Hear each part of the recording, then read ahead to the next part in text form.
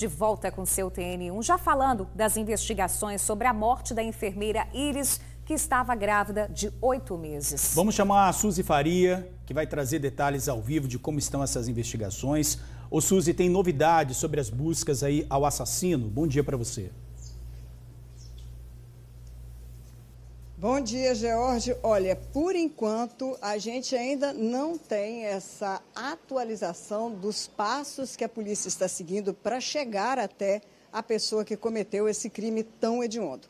O que eu sei de bastidores é que, mesmo não sendo acusado formalmente, o ex-namorado já ajustou o advogado e não está, nem ele, nem os pais, morando na residência que eles têm em Vitória. Eles já teriam saído do lugar, mesmo antes de qualquer investigação apontá-lo como o suspeito. A gente vem falando e explicando sobre ele por conta do último relacionamento que a Iris teve e desse relacionamento tóxico e conturbado que os dois tinham e quantas vezes ele tentou retornar para ela contra a vontade da família e contra a vontade também dos amigos e das amigas que acompanhavam toda a situação dela.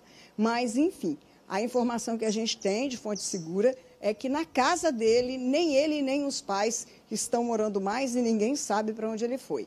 Mas a polícia, é claro, que deve ouvi-lo também por conta dessa situação conturbada que os dois viviam. Agora, quem falou sobre esse crime e garantiu que, de uma forma mais imediata possível, ele vai ser solucionado, foi o secretário de Segurança Pública, Alexandre Ramalho, que nós vamos ouvir agora.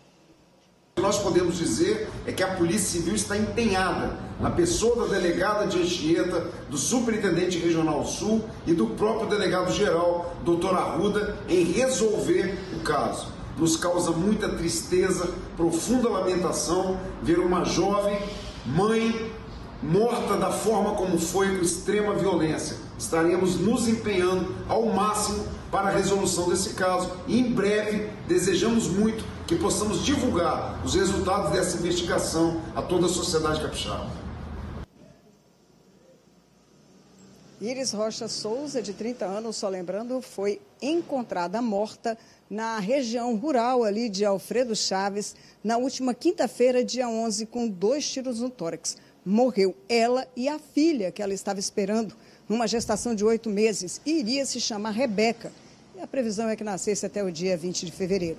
As investigações continuam e, como a gente já disse agora, é estranho que o, que o ex-namorado dela, não sendo acusado formalmente de nada e ainda nem sendo ouvido em depoimento, tenha saído junto com a família da casa dele.